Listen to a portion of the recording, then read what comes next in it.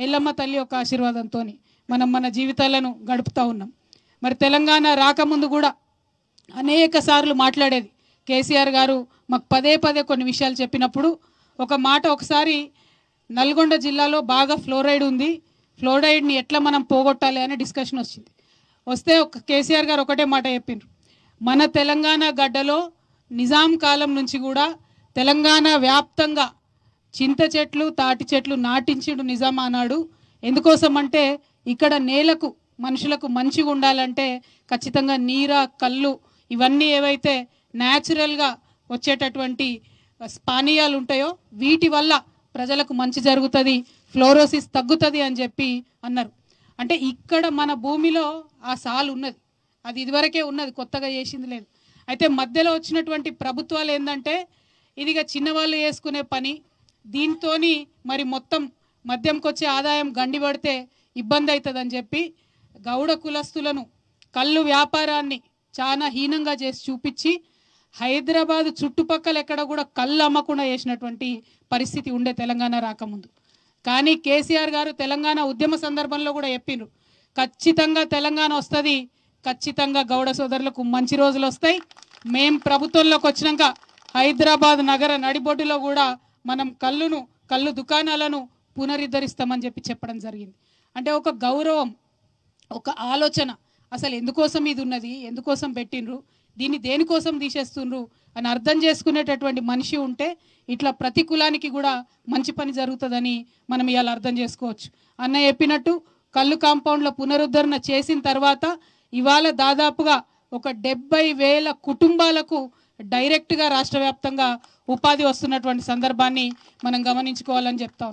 ఒక మాట మనం అనుకుంటాం కులవృత్తి అంటే కన్నతల్లి లాంటిది. కులవృత్తి ఉంటేనే కులం బాగుంటుంది కుటుంబం బాగుంటుంది వ్యవస్థ బాగుంటుంది. మరి అటువంటి కులవృత్తుల్ని పునరుద్ధరించడానికి గౌరవ ముఖ్యమంత్రి గారు ప్రయత్నం చేస్తూ ఉన్నారు. మీరందరూ కూడా ఆశీర్వదించి అండగా నిలిచి మరి రెండు సార్లు గౌరవ ముఖ్యమంత్రి గారిని మీరు ఆ ముఖ్యమంత్రి పదవిలో కూర్చోబెట్టారు మీరు అక్కడ కూర్చోబెట్టినందుకు వారు ఆగకుండా అనేకమైనటువంటి కార్యక్రమాలు చేసుకుంటూ పోయినారు. ఇదివరకు ఏముండే? ఎవరన్నా దురదృష్టవశాత్తు చనిపోతే రెండు లక్షలు వారికి బీమా ఉండే.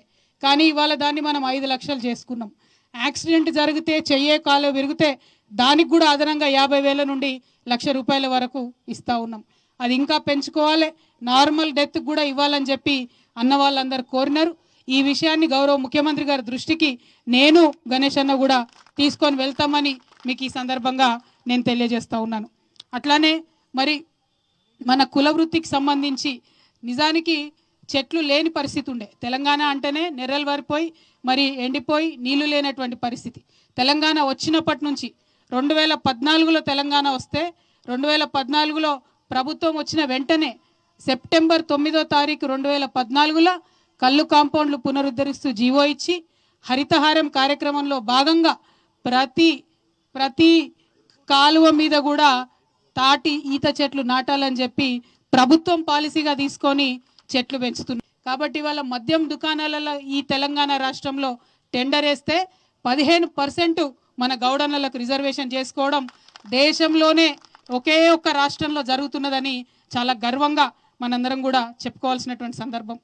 మరి ఆ ఆత్మ గౌరవాన్ని కాపాడడానికి గౌరవ ముఖ్యమంత్రి గారు సర్దార్ సర్వాయి పాపారాయుడు గారి జయంతిని అఫీషియల్గా ప్రభుత్వం తరఫున చేయడం అన్నది ఎప్పుడు కూడా జరగలేదు. చరిత్రలో కేవలం తెలంగాణలోనే జరుగుతున్నది. కాంగ్రెస్ పార్టీ రెండు వేల పద్నాలుగు దాకా అనేక సార్లు అధికారంలోకి వచ్చింది. వచ్చినాక నిజామాబాద్ నగరం నుంచి నిజామాబాద్ జిల్లా నుంచి చాలామంది పెద్ద పెద్ద నాయకులు ఉండే. డి. శ్రీనివాస్ గారు సుదర్శన్ రెడ్డి గారు షబ్బీర్ అలీ గారు అప్పుడు ఉమ్మడి జిల్లాలో అనేక మంది నాయకులు ఉండే. కానీ మొత్తం డెబ్బై ఐదేళ్ళు స్వతంత్రం వచ్చినప్పటి నుంచి రెండు వేల పద్నాలుగు వరకు బీసీ హాస్టల్ ఎన్ని ఉన్నాయా నిజామాబాద్లో అంటే ఒకటి. నాయకులేమో చాలామంది బీసీ హాస్టల్ ఒకటి. కానీ ఈ పదేండ్లలో నిజామాబాద్లో బీసీ హాస్టల్ ఎన్ని ఉన్నాయంటే పదిహేను బీసీ హాస్టళ్ళను మనం పెట్టడం జరిగింది. ఈ పదిహేను బీసీ గురుకులాలలో తొమ్మిది వేల మంది బీసీ బిడ్డలు ఇవాళ చదువుకుంటా ఉన్నారు. మాది బీఆర్ఎస్ ప్రభుత్వం కాదు ఇవాళ తెలంగాణలో ఉన్నది బీసీల ప్రభుత్వం అని చెప్పి నేను భావిస్తూ ఉన్నాను. ఇది కేసీఆర్ ప్రభుత్వం కాదు మన కౌండిన్యుల ప్రభుత్వం అని చెప్పి నేను భావిస్తా ఉన్నాను. మరి ప్రతి ఒక్కరూ ఎన్నికలప్పుడు వచ్చి అనేక పార్టీలు వస్తాయి చాలా విషయాలు చెప్తాయి.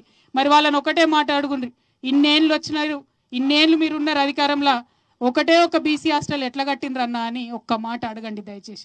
అంటే పని చేసినాం హక్కుగా మీ దగ్గరకు వచ్చినాం ప్రేమతో మీ దగ్గరకు వచ్చినాం కాబట్టి దయచేసి ఆశీర్వదించి దీవించి గణేష్ అన్నను భారీ మెజార్టీతో గెలిపించాలని చెప్పి